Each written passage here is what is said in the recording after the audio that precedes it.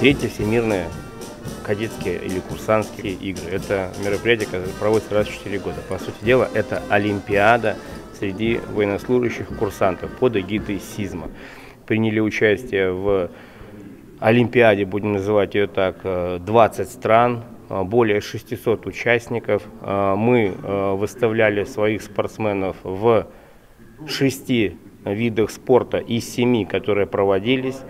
Суммарно 44 медали всего, из них 7 золотых, 19 э, серебряных и 18 бронзовых. То есть у нас почти все участники приехали домой с медалями. Специфика игр – это прежде всего то, что это курсанты, то есть это образовательный процесс. А, это уже третьи такие всемирные курсантские игры. За предыдущие двое таких игр у нас было всего-навсего одна только бронзовая медаль. Вот для сравнения, а, теперь у нас 44 их всего.